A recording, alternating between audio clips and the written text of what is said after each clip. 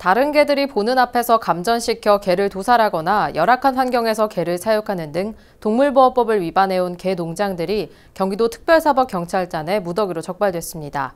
경기도가 이런 불법 행위에 대한 대책을 마련하기 위해 국회 토론회를 열었습니다. 구영슬 기자가 취재했습니다.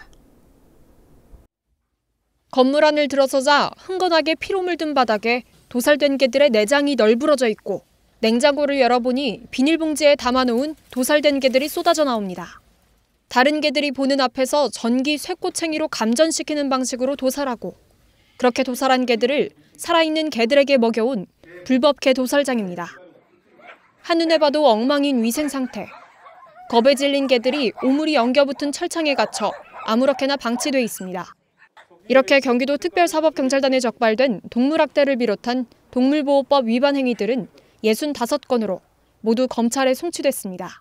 국민의 보편적 인식 변화에 맞춰 동물 학대 등 불법 행위에 대한 수사를 더욱 강화할 것이며 동물의 생명을 존중하는 문화가 조성될 수 있도록 최선을 다하겠습니다.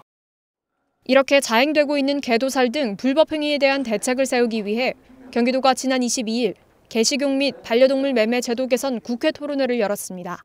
동물 생명 존중, 또 동물권 보호라는 차원에서 반려동물 문화가 새롭게 법률로 제도로 정착하게 되는 좋은 기회가 되면 합니다. 토론회에선 동물보호단체와 생산자 단체가 한자리에 모여 정책 방향을 잡기 위한 공론회장이 마련됐고 경기 지역 개농장 현황과 불법 개도살과 매매 행위에 대한 논의가 이뤄졌습니다.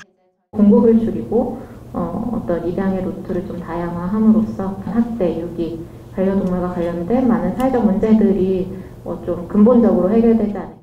경기도는 불법 개도살과 반려동물 매매 관련 문제를 개선하고 법제화하기 위해 적극적으로 대응해 나갈 방침입니다. 경기주 TV 구영슬입니다.